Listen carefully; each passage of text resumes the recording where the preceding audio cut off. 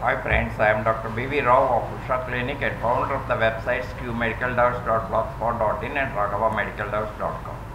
Through these videos, I am providing the basic knowledge about the commonly occurring diseases, treatment and surgery details where necessary. For the medical knowledge to general people and for reference to medicals. Today I am going to discuss about the cholera diagnosis and treatment.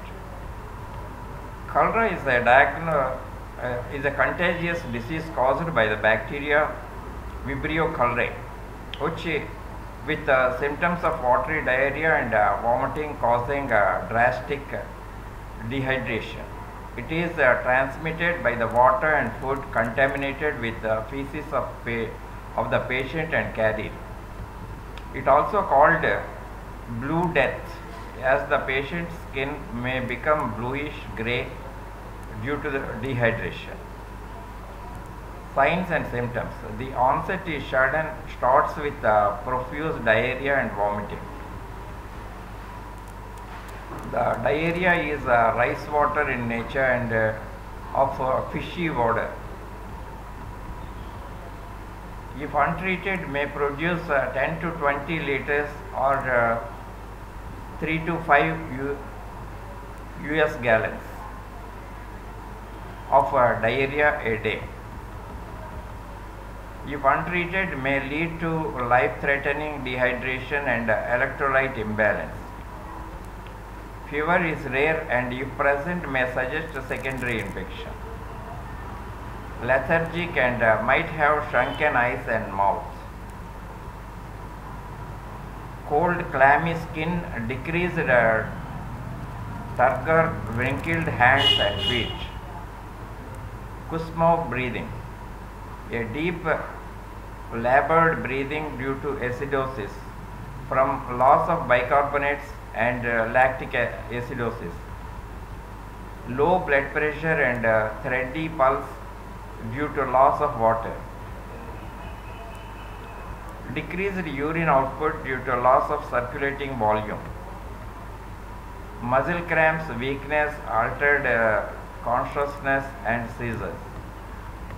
Diagnosis A rapid dipstick test is available to determine the presence of uh, Vibrio cholerae. If found positive, testing for the antibiotic resistance is to be done for uh, isolation of Vibrio cholerae 1 or VC 139.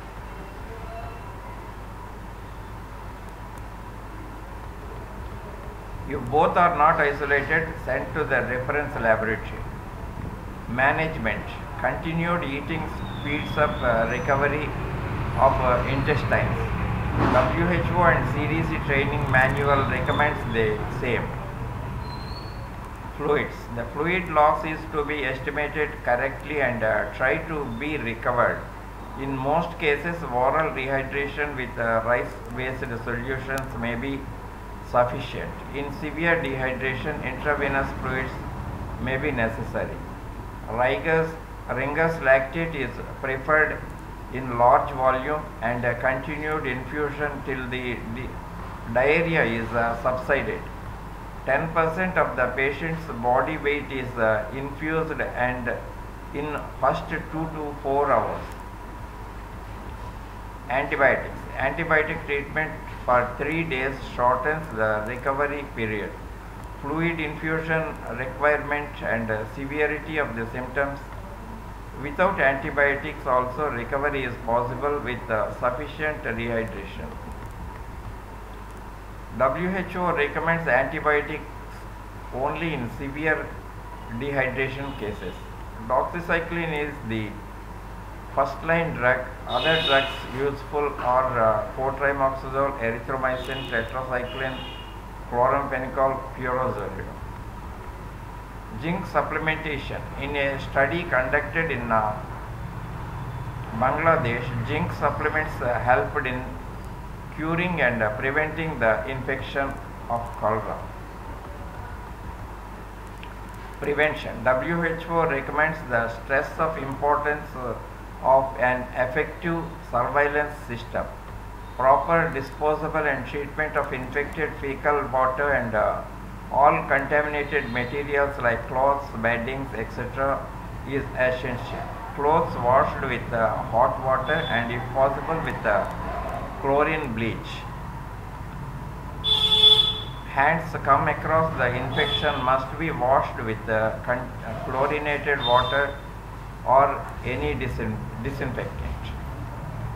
Sewage antibacterial treatment done by chlorine, ozone, ultraviolet light prevents the undiagnosed source.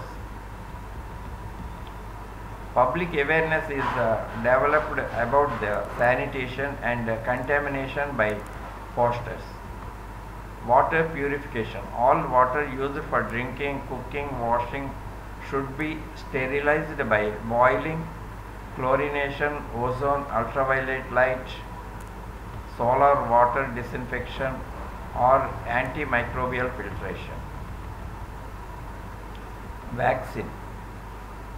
Dukoral, an orally administered inactivated whole cell vaccine was effective but these days not recommended by the Center for Disease Control and Prevention CDC for the for the migrating people. Injection of vaccine effective for three years of uh, coverage of uh, protection was used.